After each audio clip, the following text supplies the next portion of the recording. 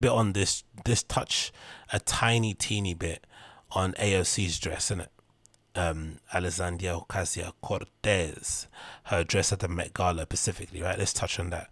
So, obviously, most of you have seen the dress itself. It says tax the rich, tax the rich. It's very um, tone deaf. It doesn't really make much sense. It's a try and often repeated um, line by people on left, especially in America. It doesn't actually do anything. It's pretty performative, and in general, it's just a little bit. Mm, do you know what I mean? In terms of um, actually influencing things and changing things for the better, it just does absolutely nothing. If anything, like I said prior to the other podcast, the best thing it actually fits like a glove and makes her bum look amazing. So congrats on that. But in general, the interesting part about it is that as time goes on, people end up revealing themselves. And I think what we've seen with Alexandria Ocasio Cortez, AOC, she slowly but surely revealed herself to be just as bad as the people that she decries whenever she's doing those impassioned speeches and shit. She's just as bad because there are many things that she could have enacted, many things that she could have helped to spearhead that would have actually changed people's lives for the better.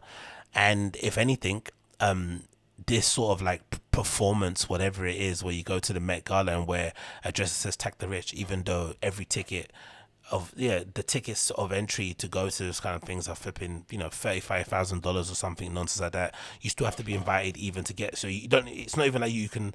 It's not even just because you have the money you can go. You have to still get invited in order for you to you know get a ticket to go, which is kind of similar to like you know sneakers app. Which I mean, it's not exactly like when you enter the raffle you get the shoes for free. You still have to enter the raffle and hope you get selected, and then if you get selected, you have the privilege of being able to spend your money at that store to get those shoes. Absolutely bizarre. Same with this.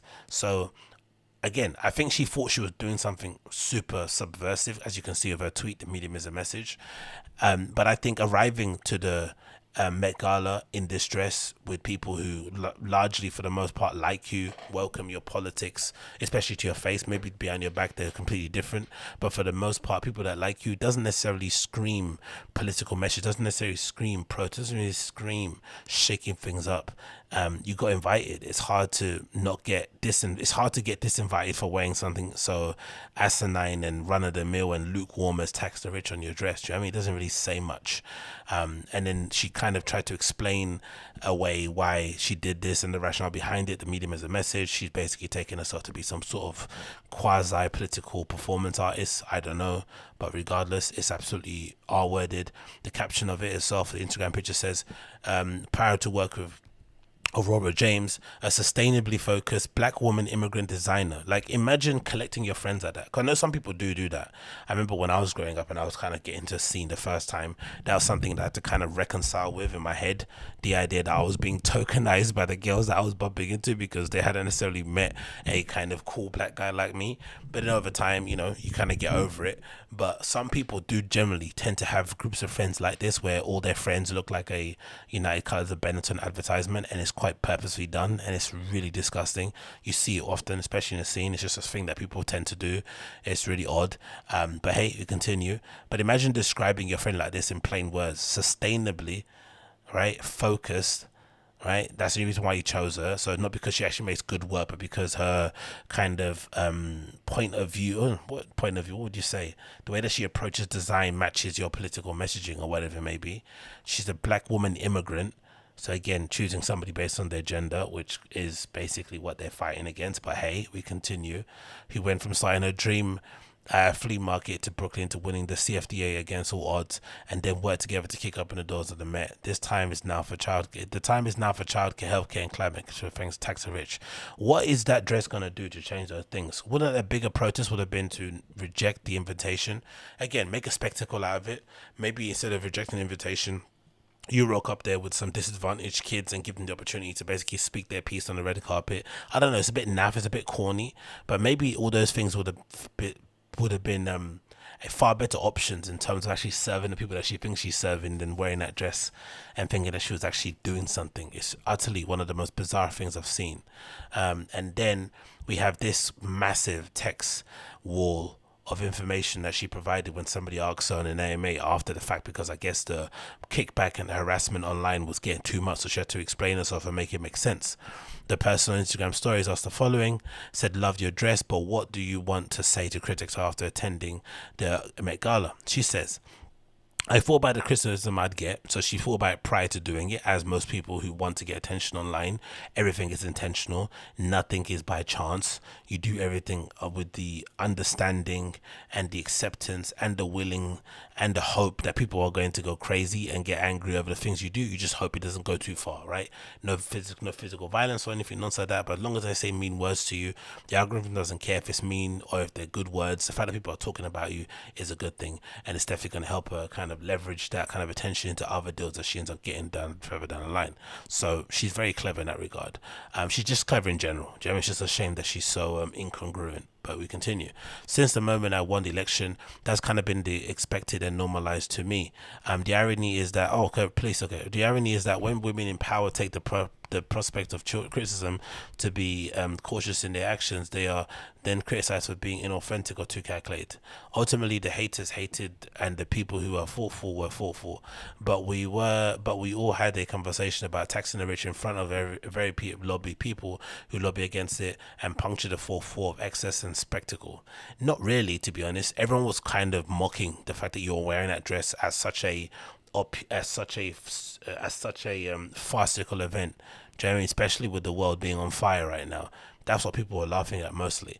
But um, I do think she has a point in terms of saying what she say here. She said um, ultimately the haters hated and the people who were thoughtful were thoughtful. I do think that dress, as bad as it was, it did expose the fact that if you weren't a fan of hers, this was definitely a layup, right? For you to kind of dunk it in and hold onto the rim, shake that shit, maybe break the glass. And if you were a fan of her, this was an opportune moment to step in, even though you knew she fucked up, to basically cap for her and, you know, essentially let people know that you are team AOC for life, ride or die. This is basically a perfect moment for it. But it doesn't excuse the corny and lameness of that whole thing. She continues and says, honestly, our culture is deeply disdainful and unsupportive of women. This supposedly is now turned into an attack on women. People calling you out for wearing a dumb dress at a flipping self-serving, you know, excessive, opulent dinner that doesn't do anything for anybody. Um, isn't an attack on women, it's an attack on you specifically, right? Um, especially women of color and working class women, of course. She's got all the badges in it. Uh, I wonder if later on down the line, later on down in life, we're gonna end up turning all these things, like you know, things that you can't help, right? Being a woman, being somebody of color, growing up in a poor neighborhood, they're things that you're just like born into. You can't choose your parents or your circumstances you're born into. But people, for whatever reason, use those things as like achievement badges like it's like you go in the army and you get your little cross or you get your little star, whatever it may be called, and put pin them on their chest. I wonder if further down the line we will turn those things into like real achievements and turn them into stars that get pinned on your jacket in certain places. It's like, yeah, it's just get over yourself.